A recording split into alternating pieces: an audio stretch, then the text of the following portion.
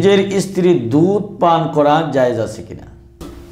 আসসালামু আলাইকুম ওয়া রাহমাতুল্লাহি ওয়া বারাকাতুহু ইন্নাল হামদালিল্লাহ, আলহামদুলিল্লাহ কাফা ওয়া সালামুন আলা ইবাদিহিল্লাযীনা ইসতাফা। প্রিয় দর্শক, যারা আজকে আমাদের এই অনুষ্ঠানটি দেখছেন, দেশ ও দেশের বাইরে সকলকে জানাচ্ছি আন্তরিক শুভেচ্ছা ও অভিনন্দন। প্রিয় দর্শক, আজকে যে বিষয়টি নিয়ে আপনাদের সম্মুখে উপস্থিত হয়েছি আর তা হলো, নিজের স্ত্রীর দুধ পান করা জায়েজ আছে কিনা? প্রিয় দর্শক, দাম্পত্য জীবনে অনেক সময় অনেক সমস্যাই দেখা দিতে পারে। কিন্তু ইসলাম এমন একটা জীবন ব্যবস্থা, এমন একটা জীবন বিধান যার মধ্যে সমস্ত সমস্যার সমাধান রয়েছে।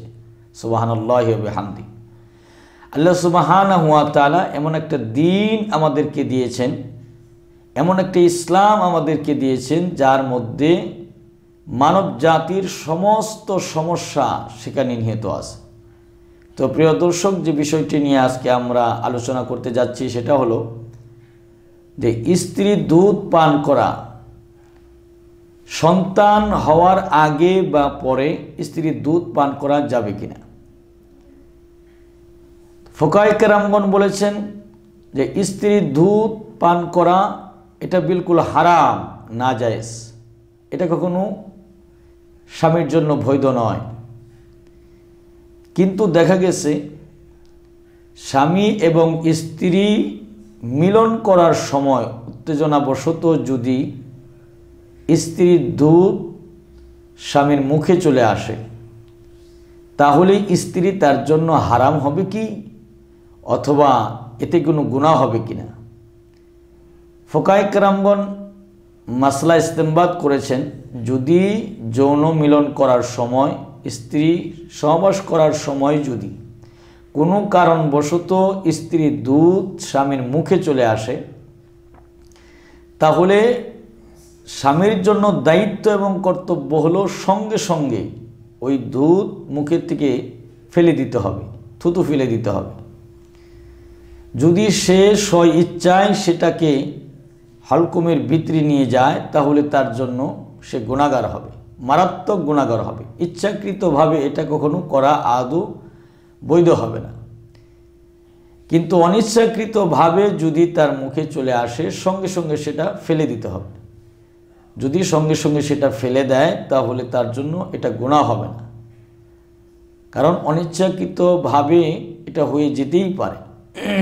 এই জন্য ফুকাই কারামগণ বলেছেন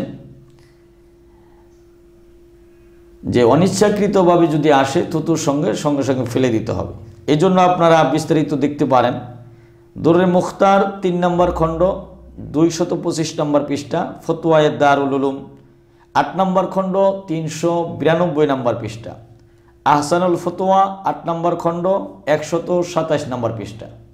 এখানে বিস্তারিত আছে, আপনারা দেখে নিতে পারেন। প্রিয় দর্শক, এই জন্য আমরা এগুলো সবসময় খেয়াল রাখব, যাতে করে স্ত্রী মিলনের সময় এই সমস্ত সমস্যা আমাদের না দেখা দেয়। আর দেখা দিলেও সতর্কতা অবলম্বন করতে হবে, যাতে করে সেটা কোনো ক্রমেই, যেহেতু সেটা বাচ্চার হক এই জন্য কোনো ক্রমেই যেন স্বামীর পেটের ভিতরে ঢুকে না যায়, হলকুমের ভিতরে চলে না আসে। সবসময় আপনার সতর্ক থাকতে হবে।